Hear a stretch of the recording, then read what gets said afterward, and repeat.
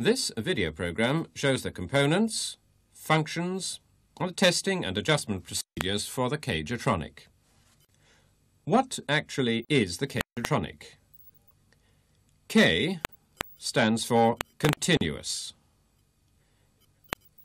Jetronic is the description given by Mrs. Bosch to fuel injection systems. Let's first consider the parts which make up the K-Jetronic and consider how they function.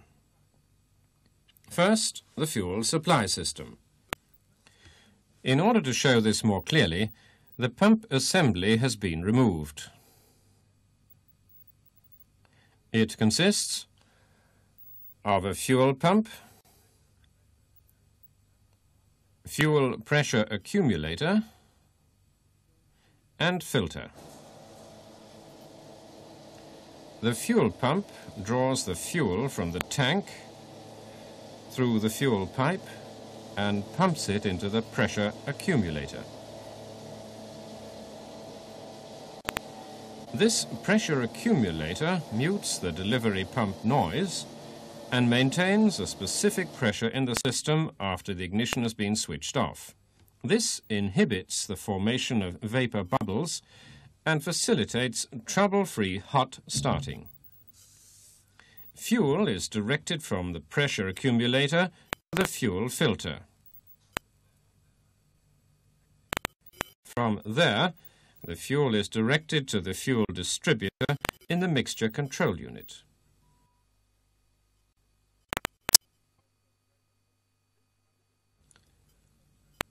This video program shows the components, functions, and testing and adjustment procedures for the K-Jetronic. What actually is the K-Jetronic? K stands for continuous. Jetronic is the description given by Mrs. Bosch to fuel injection systems. First, the fuel supply system. In order to show this more clearly, the pump assembly has been removed. It consists of a fuel pump, fuel pressure accumulator, and filter. The fuel pump draws the fuel from the tank through the fuel pipe and pumps it into the pressure accumulator.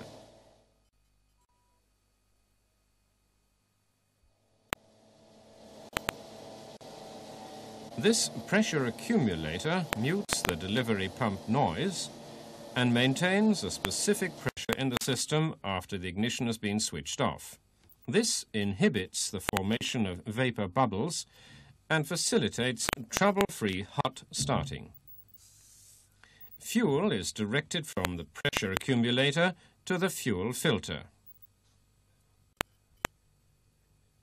From there, the fuel is directed to the fuel distributor in the mixture control unit.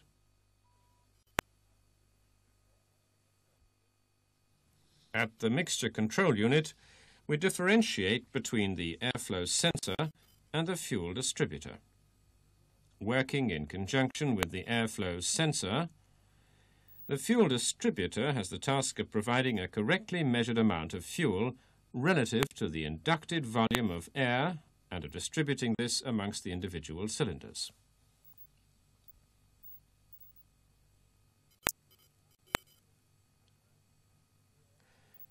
The fuel distributor consists of the following parts. The upper and lower housing sections,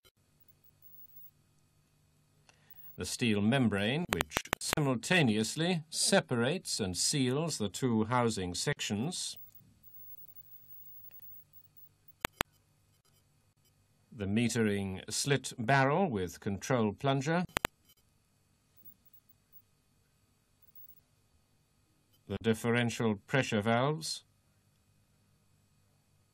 the primary pressure control and non-return valve. The airflow sensor measures the volume of air drawn by the engine. It consists of an air funnel, and the sensor plate which connects via a fulcrum to the control plunger of the fuel distributor. Now for the function.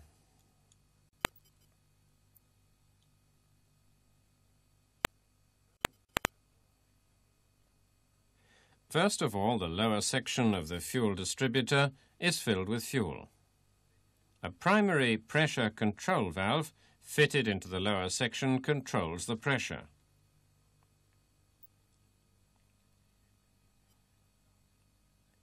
When the engine is started, the sensor plate in the airflow sensor lifts relative to the engine's air requirement, pushing the control plunger of the fuel distributor upwards. The control edge of the control plunger opens a section of the metering slits according to the amount of travel of the sensor plate. Fuel can now flow from the lower section of the fuel distributor via the control plunger to the upper section and from here to the injection valves. The primary pressure provides the injection valve opening pressure, allowing for finely atomized fuel to be sprayed towards the intake valves.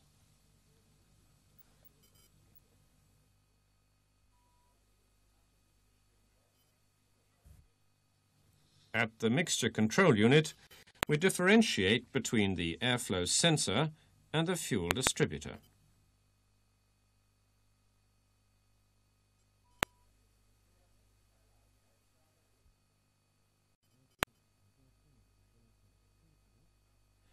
The fuel distributor has the task of providing a correctly measured amount of fuel relative to the inducted volume of air and of distributing this amongst the individual cylinders.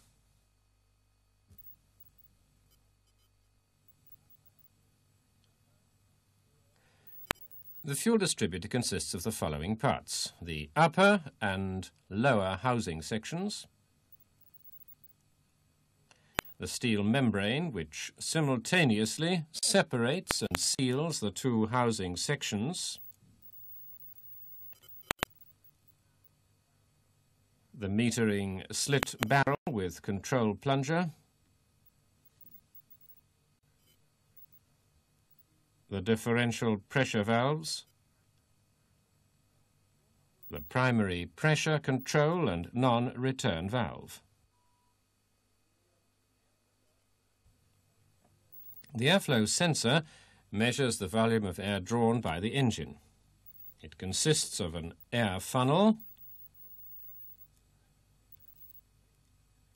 and the sensor plate which connects via a fulcrum to the control plunger of the fuel distributor.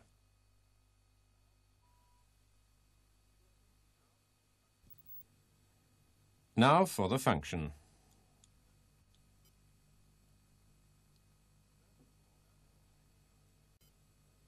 First of all, the lower section of the fuel distributor is filled with fuel.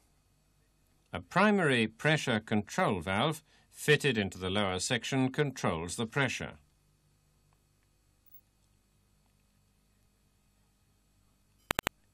When the engine is started, the sensor plate in the airflow sensor lifts relative to the engine's air requirement pushing the control plunger of the fuel distributor upwards. The control edge of the control plunger opens a section of the metering slits according to the amount of travel of the sensor plate. Fuel can now flow from the lower section of the fuel distributor via the control plunger to the upper section and from here to the injection valves. The primary pressure provides the injection valve opening pressure, allowing for finely atomized fuel to be sprayed towards the intake valves.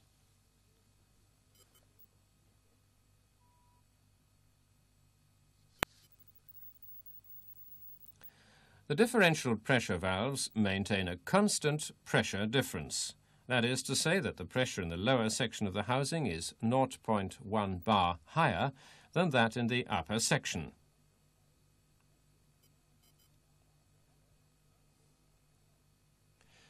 Thus it is only the metering slit section and not the tolerance in the primary pressure or the injection valve opening pressure which determines the fuel quantity. In order to adapt the mixture composition to the varying engine running conditions, there are a few adjustments to be considered. With the K-Jetronic, we differentiate between the two pressure circuits. The delivery, or primary pressure, and the control pressure. The primary pressure is provided by the electric fuel pump and controlled by the primary pressure control valve in the fuel distributor. The fuel for the control pressure circuit is tapped from the primary pressure circuit. The actual pressure is determined by the warm-up regulator. The control pressure, formed above the control plunger, constitutes the opposing force to the air pressure acting on the sensor plate, which, in relation to its, the sensor plate's position, determines the actual composition of the mixture.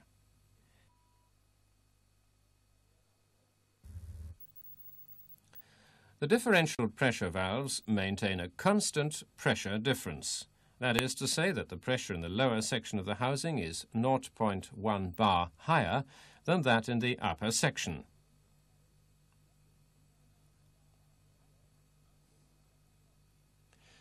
Thus it is only the metering slit section and not the tolerance in the primary pressure or the injection valve opening pressure which determines the fuel quantity.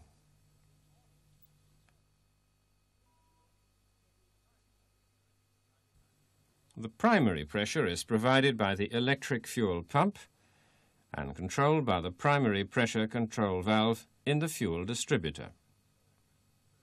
The fuel for the control pressure circuit is tapped from the primary pressure circuit. The actual pressure is determined by the warm-up regulator.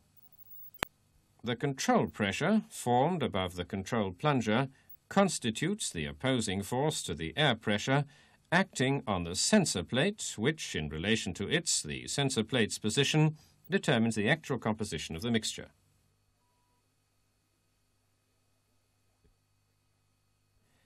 The warm-up regulator. Its job is to adapt the composition of the mixture according to the engine temperature and load. How is this achieved? When the engine is cold, a bimetal strip causes a lowering of the control pressure. In this way, it's possible, with the same quantity of air, for the sensor plate and control plunger to travel upwards further, allowing more fuel to flow through a consequently greater open section of the metering barrel slits to the injection valves. When the engine is warm, the bimetal strip function is inoperative. The control pressure is thus increased. A higher control pressure means less fuel. Quite independently of these temperature-related factors, the respective control pressure is additionally corrected through the vacuum pressure in the suction pipe via a membrane in the warm-up regulator. This means that high vacuum in the intake system results in higher control pressure, i.e less fuel. Lower vacuum produces lower control pressure, i.e. more fuel flow.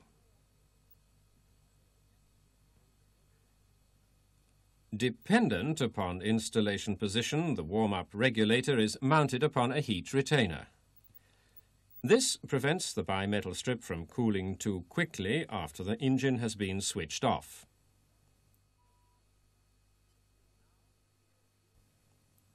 Now the auxiliary air device.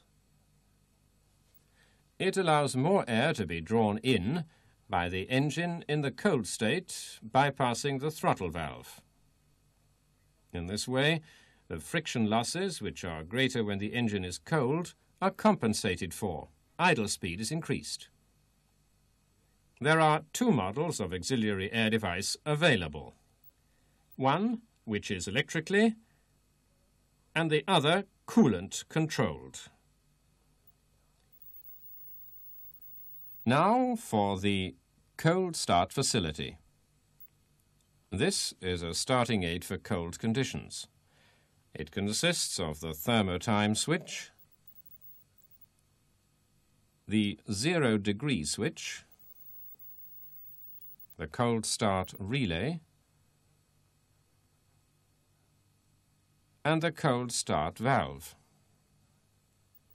When the engine is started, dependent upon actual temperature, additional fuel is sprayed by the cold start valve into the intake manifold. The duration of this additional fuel injection is dependent upon the setting of the thermo time switch and the duration of starter motor engagement. At a temperature of minus 20 degrees centigrade, the thermotime switch supplies the cold start relay with earth for a period of 12 seconds. At a temperature of 35 degrees centigrade and above, there's no additional injection. To improve cold starting, a zero degree centigrade switch has been incorporated into the cold start facility. This has the effect of holding the cold start relay operative at temperatures below zero degrees centigrade. Thus, the duration of the additional injection is dependent solely upon the function of the thermotime switch. Those were the various parts and their functions. Let's look at them again in sequence. We've been discussing the fuel pump, the fuel accumulator, the fuel filter, the mixture control unit, which consists of the airflow sensor and the fuel distributor. The primary pressure regulating valve, the warm-up regulator,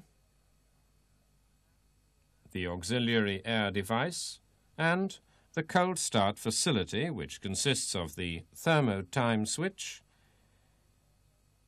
the cold start relay, the cold start valve, and the zero degree switch.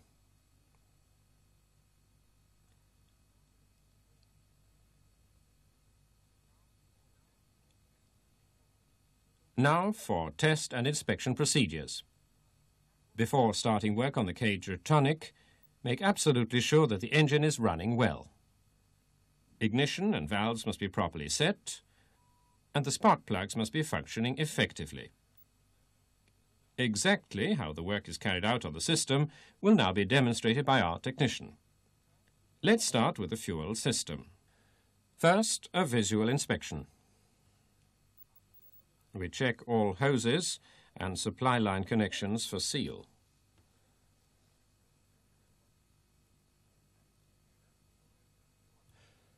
Then we check the fuel flow quantity.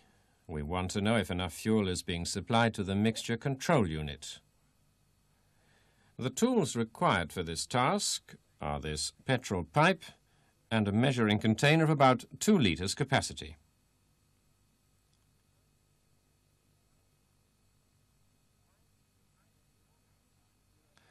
The pipe is attached to the return line of the fuel distributor. In order to bring the fuel pump into operation when switching on the ignition, Detach the fuel pump relay and bridge terminal 15 to terminal 87 at the relay socket. Caution. If terminal 15 is mistakenly bridged to terminal 31B, the control unit of the ignition circuit will be shorted out.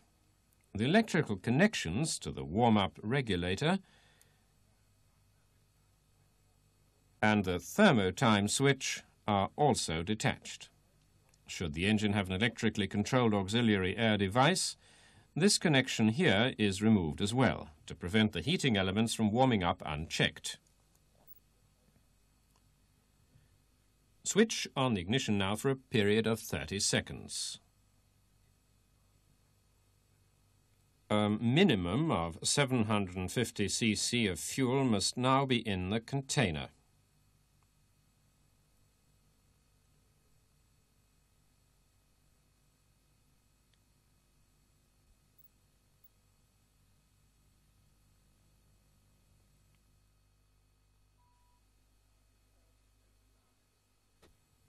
If there is less than 750 cc of fuel in the container, the reasons for this could be the following.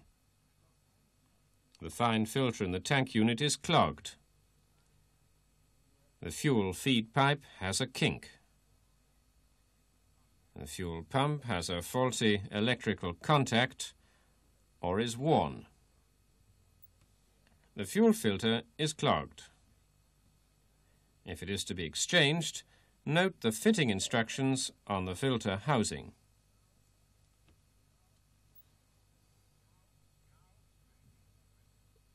Now checking pressure. We check both the primary pressure and the control pressure.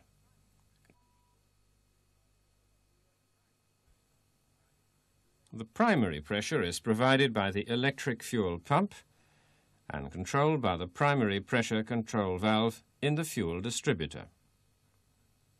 The fuel for the control pressure circuit is tapped from the primary pressure circuit. The actual pressure is determined by the warm-up regulator. The control pressure, formed above the control plunger, constitutes the opposing force to the air pressure acting on the sensor plate, which, in relation to its, the sensor plate's position, determines the actual composition of the mixture. To check the primary pressure, we unscrew the pressure pipe leading from the fuel distributor to the warm-up regulator. The tools required are this,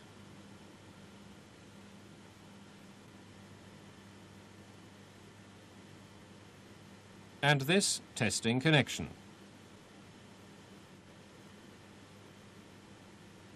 and the 10-bar pressure sensor. One end is screwed to the fuel distributor. The other to the control pressure pipe of the warm-up regulator. We clamp off the pipe to the warm-up regulator and switch on the ignition.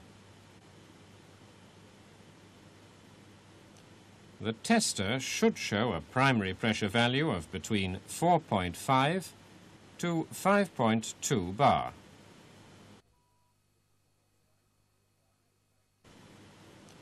The tester should show a primary pressure value of between 4.5 to 5.2 bar. Should the primary pressure reading not be between these limits, it can be adjusted up or down by adding to or removing these washers in the primary pressure valve. The actual control pressure valve is dependent upon temperature. We therefore measure the temperature of the warm-up regulator. We do this using the service tester temperature probe. Now we can test. We open the clamp and switch on the ignition. The pressure indicated must correspond to the value as shown in the table for the temperature as just measured at the warm-up regulator. If the control pressure is not within the given tolerance, it could be due to the following. If the control pressure is not within the given tolerance, it could be due to the following. The return pipe is kinked, or incorrectly routed, the non-return valve in the fuel distributor could be defective. Or the warm-up regulator is defective. We remove the return pipe from the warm-up regulator at the fuel distributor, plug the opening, and again test the pressure.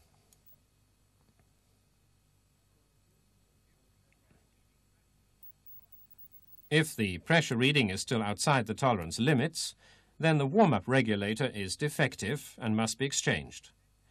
If it is not defective, we check the non-return valve in the fuel distributor, then the return pipe for blockage.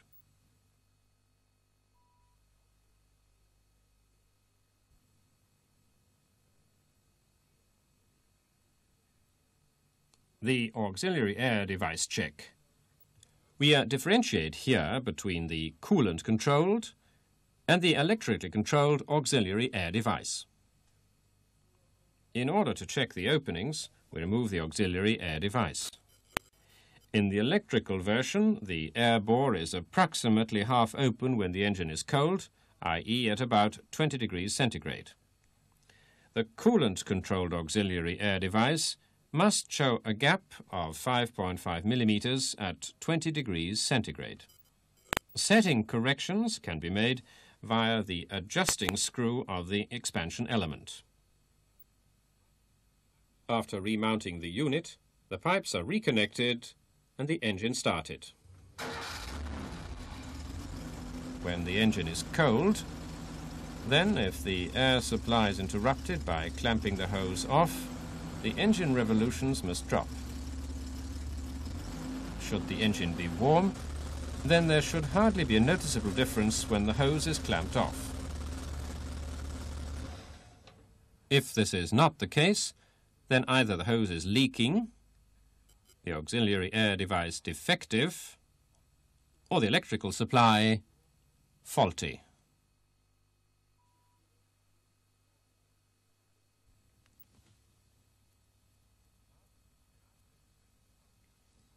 Now to inspect the mixture control unit.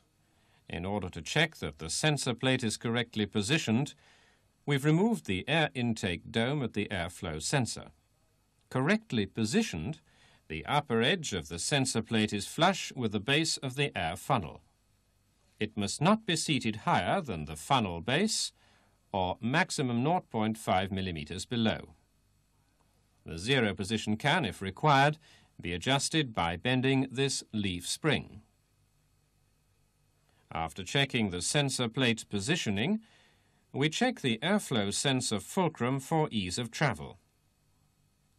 Switch the ignition on for about 5 seconds. After switching off, a residual pressure will have been maintained, causing the control plunger to come to rest on the fulcrum. If the sensor plate is now moved upwards, an even resistance must be felt during the whole length of travel.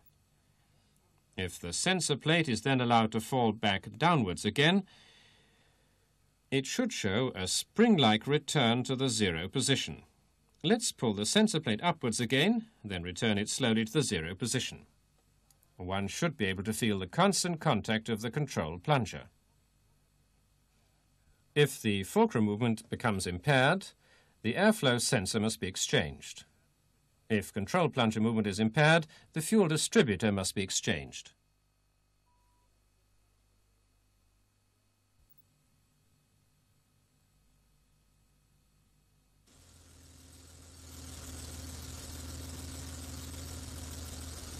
To test control pressure of a warm, running engine, Remove the vacuum pipe from the warm-up regulator and plug it. The test value must be between 2.7 and 3.1 bar. When the vacuum hose is reconnected, the control pressure must be between 3.4 and 3.8 bar. Should the pressure readings under the respective conditions not be within the given tolerances, despite trouble-free return flow, then the warm-up regulator is defective.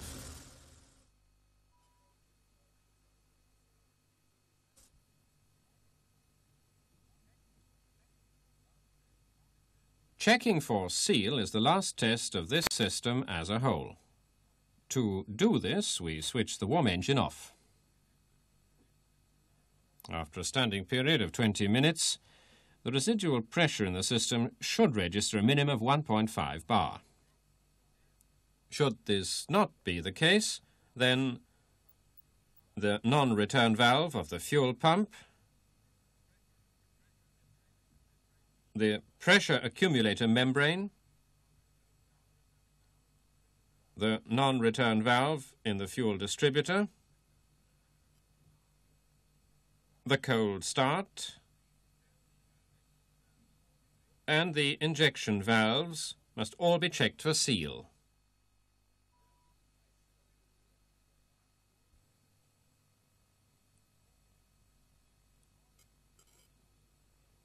If faults on the running engine can be traced to separate cylinders, and if the timing is known to be correctly adjusted, spark plugs are not faulty, compression values are good, and the air intake system is tight, then the following could be the cause of the fault. Either the injection valve or the injection line of the respective cylinder is defective, or the fuel distributor could be malfunctioning. In which of these two components the fault is to be found can now be established with the following simple test. We change over the injection line of the faulty cylinder at the fuel distributor. If the fault can now be diagnosed at another cylinder, then the fuel distributor is faulty. If the fault is still to be found on the same cylinder, it's either in the injector valve or the injector line.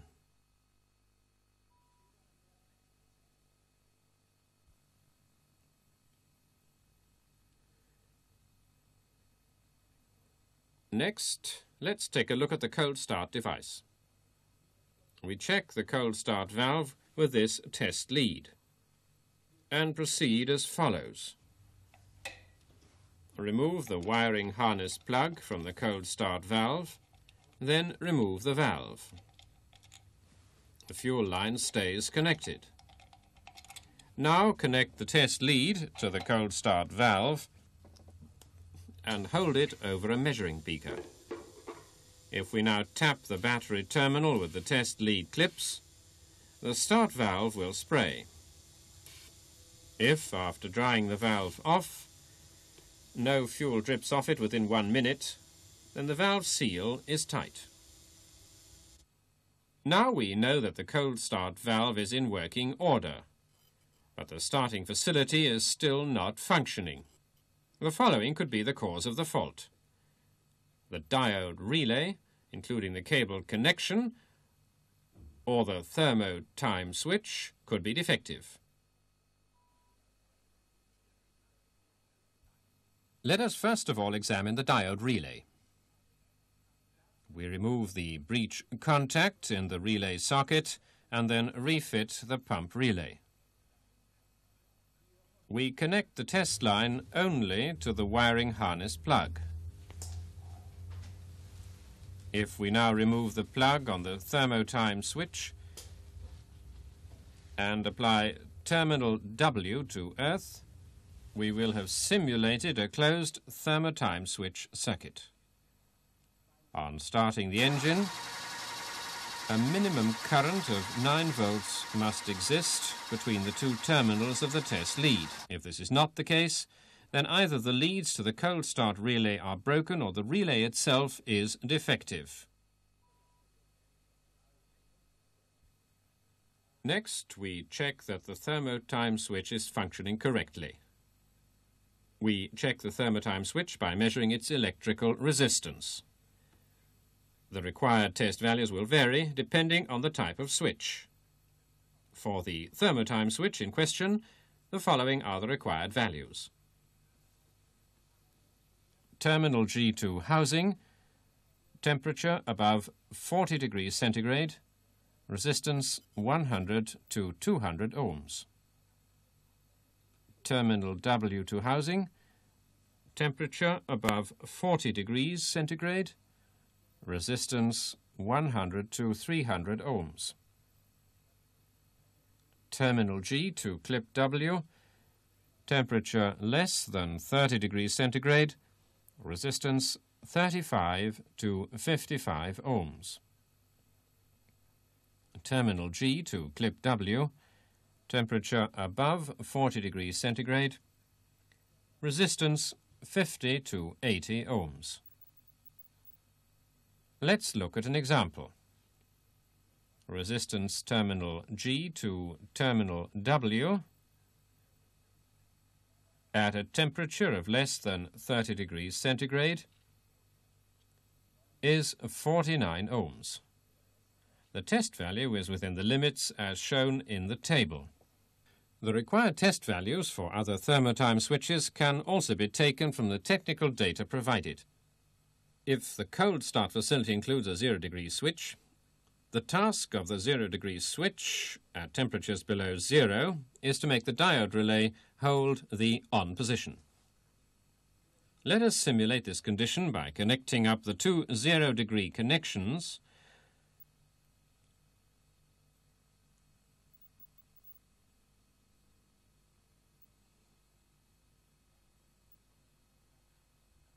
holding the terminal W of the thermotime switch to earth and start up the engine. The cold start valve must continue to spray even if the starter motor is no longer engaged, provided that the ignition is still switched on until the terminal W is removed from earth. After removing, we check it by cooling it with a cold spray to below 0 degrees centigrade.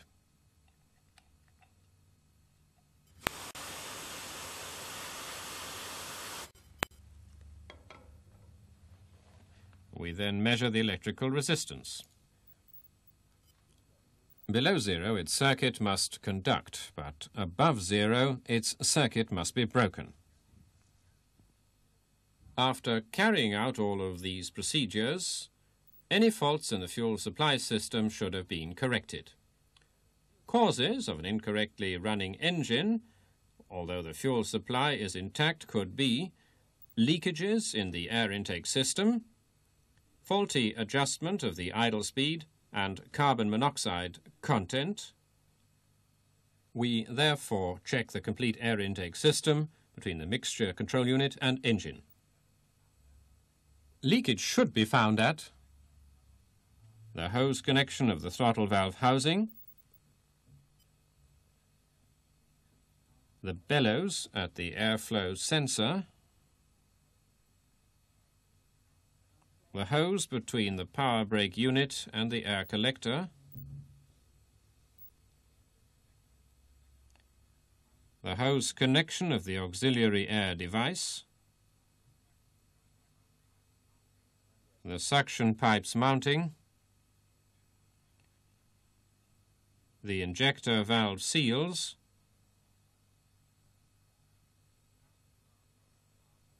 and the cold start valve flange gasket.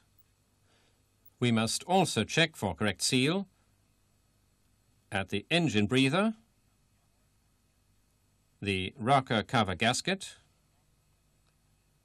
the oil filler neck seal,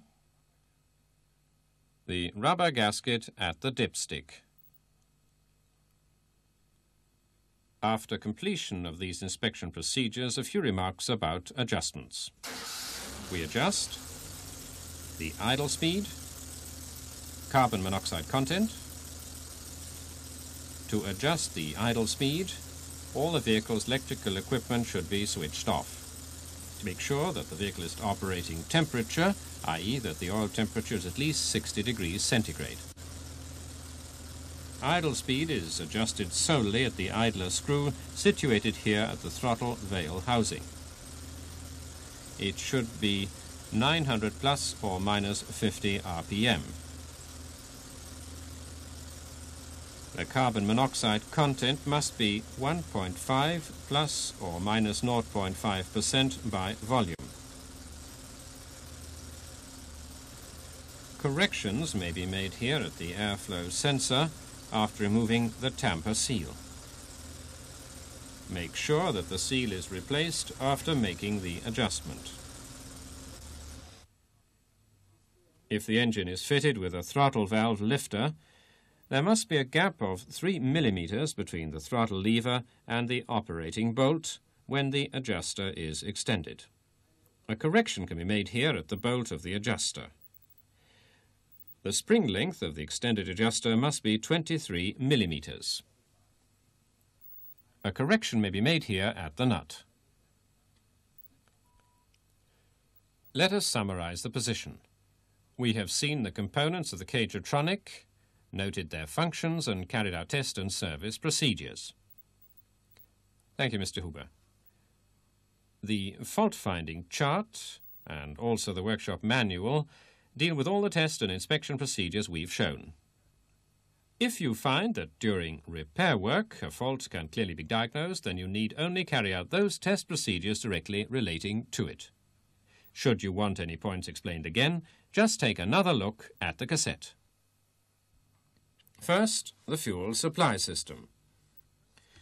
In order to show this more clearly, the pump assembly has been removed. It consists of a fuel pump, fuel pressure accumulator, and filter. The fuel pump draws the fuel from the tank through the fuel pipe and pumps it into the pressure accumulator. This pressure accumulator mutes the delivery pump noise and maintains a specific pressure in the system after the ignition has been switched off. This inhibits the formation of vapor bubbles and facilitates trouble-free hot starting. Fuel is directed from the pressure accumulator to the fuel filter. From there, the fuel is directed to the fuel distributor in the mixture control unit. Exactly how the work is carried out on the system will now be demonstrated by our technician. Let's start with the fuel system. First, a visual inspection. We check all hoses and supply line connections for seal.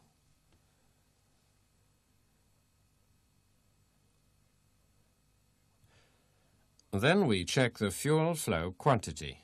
We want to know if enough fuel is being supplied to the mixture control unit. The tools required for this task are this petrol pipe and a measuring container of about 2 litres capacity.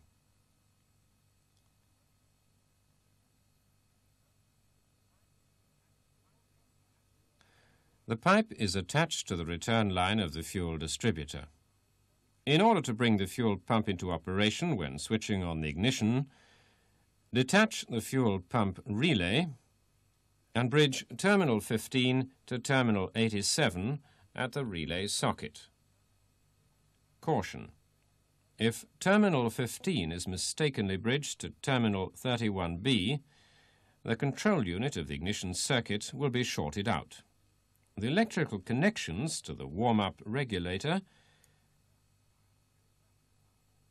and the thermotime switch are also detached. Should the engine have an electrically controlled auxiliary air device, this connection here is removed as well to prevent the heating elements from warming up unchecked. Switch on the ignition now for a period of 30 seconds. A minimum of 750 cc of fuel must now be in the container.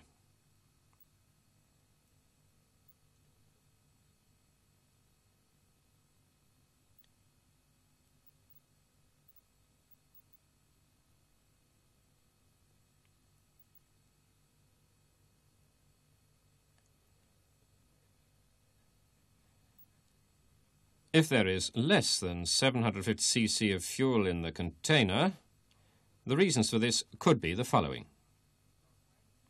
The fine filter in the tank unit is clogged. The fuel feed pipe has a kink. The fuel pump has a faulty electrical contact or is worn. The fuel filter is clogged. If it is to be exchanged, Note the fitting instructions on the filter housing.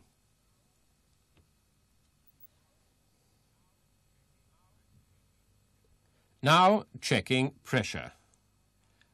We check both the primary pressure and the control pressure.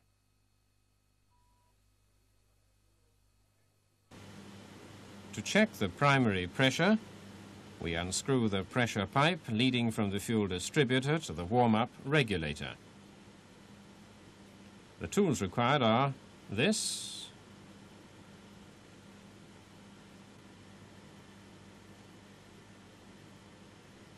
and this testing connection. and the 10 bar pressure sensor. One end is screwed to the fuel distributor. The other to the control pressure pipe of the warm-up regulator. We clamp off the pipe to the warm-up regulator and switch on the ignition. The tester should show a primary pressure value of between 4.5 to 5.2 bar.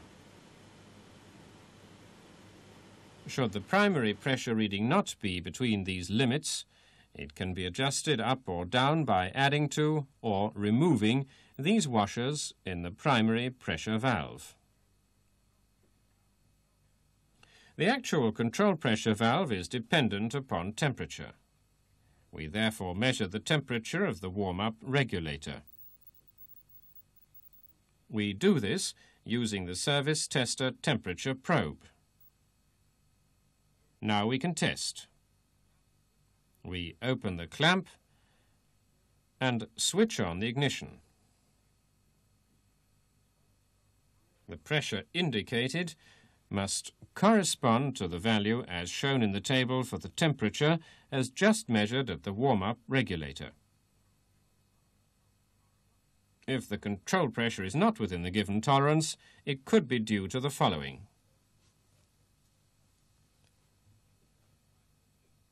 The return pipe is kinked or incorrectly routed The non-return valve in the fuel distributor could be defective. Or the warm-up regulator is defective. We remove the return pipe from the warm-up regulator at the fuel distributor, plug the opening, and again test the pressure.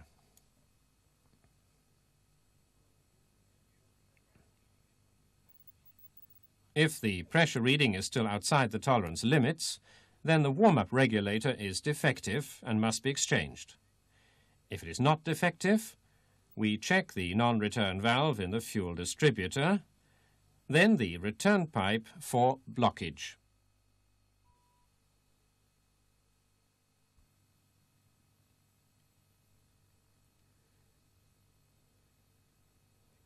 Next, let's take a look at the cold start device.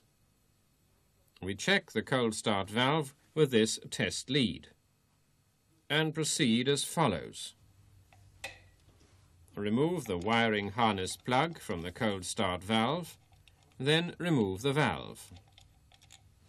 The fuel line stays connected. Now connect the test lead to the cold start valve and hold it over a measuring beaker.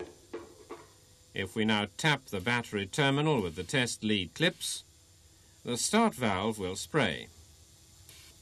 If, after drying the valve off, no fuel drips off it within one minute, then the valve seal is tight. Now we know that the cold start valve is in working order, but the starting facility is still not functioning. The following could be the cause of the fault. The diode relay, including the cable connection, or the thermo time switch, could be defective. Let us first of all examine the diode relay. We remove the breech contact in the relay socket and then refit the pump relay. We connect the test line only to the wiring harness plug. If we now remove the plug on the thermotime switch and apply terminal W to earth, we will have simulated a closed thermotime switch circuit. On starting the engine, A minimum current of 9 volts must exist between the two terminals of the test lead. If this is not the case, then either the leads to the cold start relay are broken or the relay itself is defective. Next, we check that the thermotime switch is functioning correctly. We check the thermotime switch by measuring its electrical resistance. The required test values will vary depending on the type of switch. For the thermotime switch in question, the following are the required values. Terminal G2 housing, temperature above 40 degrees centigrade, resistance 100 to 200 ohms. Terminal W2 housing, temperature above 40 degrees centigrade, resistance 100 to 300 ohms. Terminal G to clip W, temperature less than 30 degrees centigrade, resistance 35 to 55 ohms. Terminal G to clip W, temperature above 40 degrees centigrade, resistance 50 to 80 ohms. Let's look at an example. Resistance terminal G to terminal W at a temperature of less than 30 degrees centigrade is 49 ohms. The test value is within the limits as shown in the table. The required test values for other thermotime switches can also be taken from the technical data provided.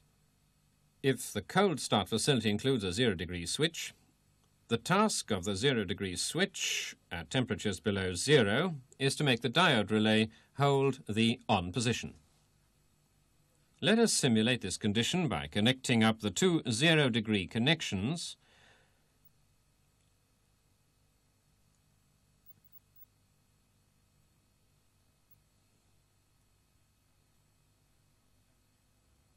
holding the terminal W of the thermotime switch to earth and start up the engine.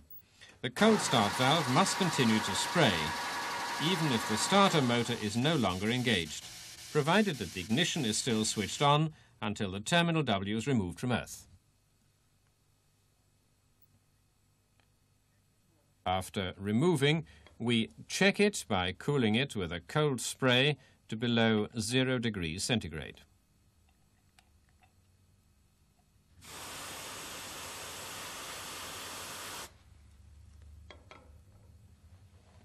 We then measure the electrical resistance. Below zero, it's